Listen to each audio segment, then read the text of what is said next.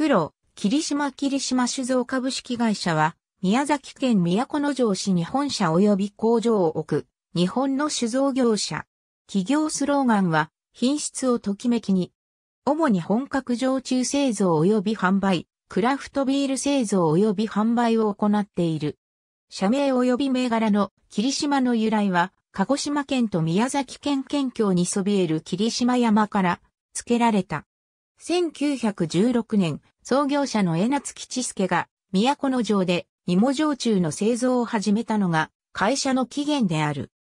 1955年、工場近くで掘り当てた地下水を霧島劣化水と命名し、それ以降は一貫して霧島劣化水を焼酎の仕込み水や割り水はもちろん製造のすべての工程で使用している。おつるい焼酎を本格焼酎の名称、表示にすることを提案したのは二代目社長江夏純吉で1957年に熊本県で開かれた九州旧式常駐協議会で本格常駐の名称使用を提唱した。そして1962年の大倉省令により法的にも本格常駐の故障が正式に認められた。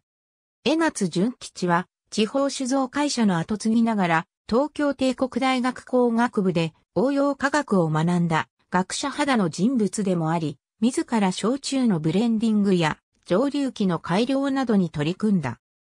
純吉の死去で後を継いだ三代目社長の江夏純工の経営体制下では、純吉時代の高品質路線を継承しつつ、芋焼酎の臭みを抑えた新商品、黒霧島の開発と営業各班に努め、2000年代の焼酎ブーム期にも着実な事業拡大を継続した。